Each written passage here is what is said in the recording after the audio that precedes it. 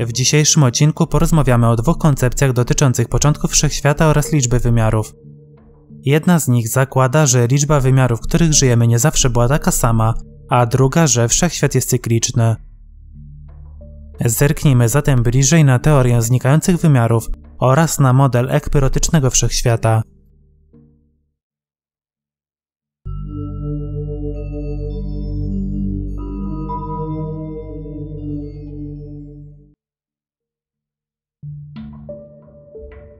Obie koncepcje są bardzo ciekawe, jednak zacznijmy od bardziej znanego modelu ekpyrotycznego wszechświata. Musimy cofnąć się do samego początku wszechświata, czyli do Wielkiego Wybuchu. Jak wiemy, Wielki Wybuch to obecnie dominujący model kosmologiczny. Według niego około 13 miliardów i 800 milionów lat temu wszechświat wyłonił się z nieskończenie gęstej oraz gorącej osobliwości. Wielki wybuch nie był eksplozją materii poruszającej się na zewnątrz, aby wypełnić pusty wszechświat. Zamiast tego sama przestrzeń rozszerzyła się z czasem wszędzie i zwiększyła fizyczne odległości pomiędzy sąsiadującymi punktami. Innymi słowy, wielki wybuch nie był eksplozją w kosmosie, ale raczej ekspansją kosmiczną. Po początkowej ekspansji wszechświat wystarczająco ostygł, aby umożliwić tworzenie się cząstek subatomowych, a później atomów. Gigantyczne chmury, głównie wodoru z odrobiną helu i litu, łączyły się dzięki grawitacji tworząc wczesne gwiazdy oraz galaktyki. Fizycy nie potrafią opisać momentu narodzin wszechświata. Wszystkie znane prawa natury załamują się, kiedy zbliżamy się do wielkiego wybuchu, a pojęcia czasu oraz przestrzeni całkowicie tracą swój sens. Nie wszyscy są jednak przekonani co do modelu wielkiego wybuchu. Kluczowym pytaniem, na które brakuje odpowiedzi jest, co się tak naprawdę stało przed wielkim wybuchem. W 2001 roku fizycy Paul Steinhardt oraz Neil Turok zaproponowali ekpyrotyczny model wszechświata. Według niego wszechświat zawdzięcza swoją dzisiejszą postać zderzeniu tzw. Tak brany, na której się znajduje, z inną braną i zamianie energii zdarzenia na materię. Steinhardt stworzył nazwę na podstawie greckiego słowa ekpyrosis. Odnosi się ono do starożytnego stoickiego modelu kosmologicznego, w którym wszechświat jest uwięziony w wiecznym cyklu ognistych narodzin, ochłodzenia oraz ponownych narodzin. Główne założenie Steinharda oraz Turoka jest takie, że Wielki Wybuch był jedynie efektem jednego z nieskończenie wielu wybuchów, rozpoczynających kolejne cykle ewolucji wiecznego wszechświata. Według takiej hipotezy, wszechświat, w którym żyjemy, był na początku zimny i niemal zupełnie pusty. Dopiero w wyniku zderzenia się sąsiedniej brany z naszą braną powstała znana nam materia, a nasz wszechświat zaczął się rozszerzać. Obaj fizycy opierają się na 11-wymiarowej M-teorii. Ich zdaniem rzeczywistość ma się składać z 11 wymiarów oraz dwóch powierzchni znanych właśnie jako owe brany.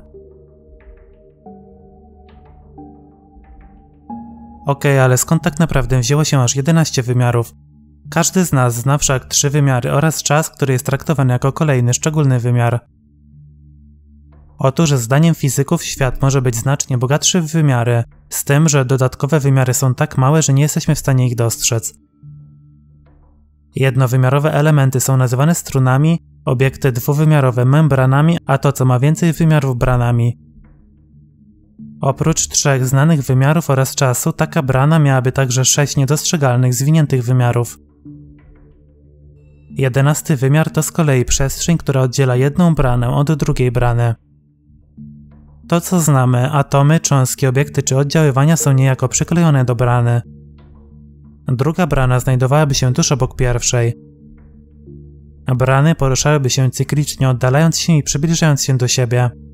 W krytycznym momencie dochodziłoby do ogromnego zderzenia, po którym brany wytworzyłyby nierównomiernie rozłożoną gorącą materię oraz promieniowanie. Zdaniem Steinharda oraz Turoka, ze stygnącej materii stopniowo powstawałyby galaktyki, gwiazdy oraz planety. Zderzenia bran byłyby cykliczne. Według fizyków do ostatniej kolizji doszło około 13 miliardów i 800 milionów lat temu, czyli wtedy, kiedy miał miejsce wielki wybuch. Prognozy takiego modelu są zgodne z aktualnymi danymi kosmologicznymi. Zdaniem Turoka oraz Steinharda, W cyklicznej wersji wszechświat może się odbijać w regularnych odstępach czasu, przykładowo raz na bilion lat. Podobnie jak kosmologia Wielkiego Wybuchu, koncepcja ekpyrotyczna dokładnie opisuje podstawowe cechy naszego wszechświata. Przewiduje jednolity płaski wszechświat wzorami gorących punktów oraz zimnych punktów i jest zgodna z obserwacjami mikrofalowego promieniowania tła. Te obserwacje od dawna uważano za dowód Wielkiego Wybuchu, jednak zwolennicy teorii ekpyrotycznych oraz cyklicznych twierdzą, że mikrofalowe promieniowanie tła jest również zgodne z wielkim odbiciem, jakie zakłada się w tych modelach. Warto mieć zatem na uwadze cykliczny model odradzającego się wszechświata.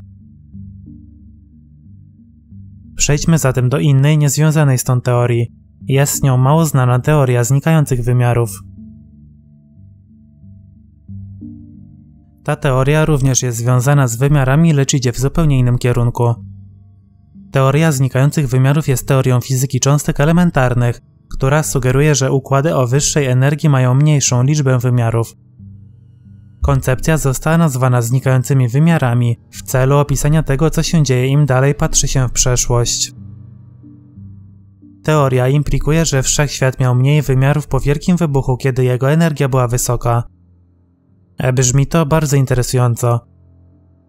Pierwotnie mógł istnieć tylko jeden wymiar przestrzenny, z dwoma wymiarami łącznie, jednym wymiarem czasowym, o którym wcześniej mówiliśmy, oraz tylko jednym wymiarem przestrzennym. Tę osobliwą teorię zaproponował fizyk Dejan Stojkowicz z Uniwersytetu w Buffalo. Stojkowicz wraz z fizykami z wydziału zaproponował, że początkowo wszechświat posiadał tylko jeden wymiar przestrzenny. Była to wyłącznie ciągła linia.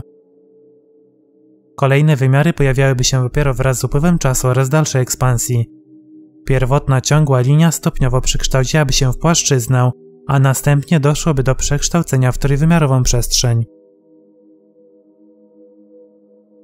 Stojkowicz na tym nie poprzestaje. Jego zdaniem obliczenia wskazują, że jeśli wszechświat w dalszym ciągu będzie dokonywał szybkiej ekspansji, to z czasem uzyska kolejne dodatkowe wymiary. Stojkowicz oraz fizyk Jonas Murejka z Uniwersytetu Loyola Marymount zaproponowali interesujący sposób badania niższych wymiarów wszechświata. Chociaż nie wiedzą dokładnie przy jakich poziomach energii nastąpiły przejścia pomiędzy stanami wymiarów, to podali pewne szacunki, zakładając, że poziom oraz rozmiar energii wszechświata determinują jego liczbę wymiarów.